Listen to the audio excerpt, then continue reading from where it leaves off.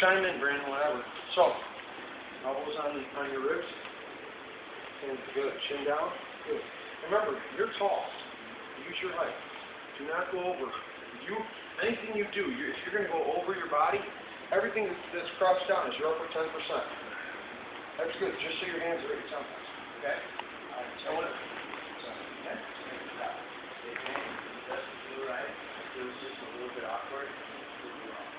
Here's some things, right? There's techniques, right, for the alphabet, right? They're all right the same for speaking, right? A, right? So the technique, right, A is the same for you, it's Rory, Yeah. this guy is me. But how come our, our handwriting doesn't look the same? None of it, like, I got chicken scratch, you barely read my writing, you know, Rory might write, you know, however he writes, you write like you write. It's, that's called style.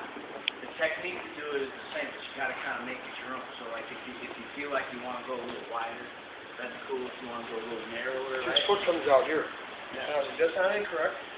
yeah, If I do different, you just do it just like BJ. right, right. BJ, just like this, like he's surfing, Yeah. right? You kinda, yeah. Now, when, uh, when the shit hits the fan, if I was trying to actually get at you, right, you're not gonna do that anyway. But if that's your stance, and I told you here, stand, stand there with the other foot back. If that's not comfortable, you, that feel comfortable?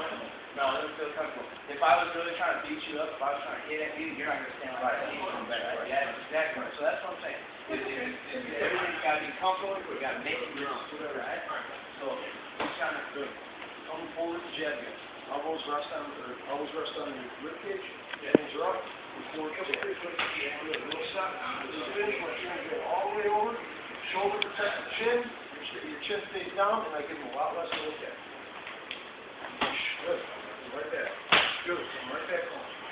Good, come forward, good, come forward, good.